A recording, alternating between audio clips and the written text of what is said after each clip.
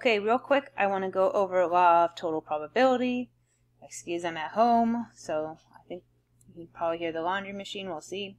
So, real quick, so what the law of total probability says is probability of A is equal to the probability of A, and I'm going to have two events, so A and B, of A and B, plus the probability of A and not B.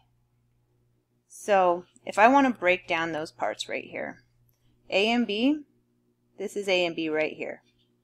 This center part, this orange. The probability of A and not B, so remember, not B is everything that's not inside of B. So all of this. And we want to know where it overlaps with A. It's just going to be this wedge right here, this red wedge. I'm sorry if red's a harder color for, for y'all to see.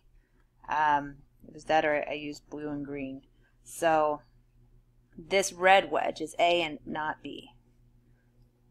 Or B complement. So when I put those two together, I just have the probability of A.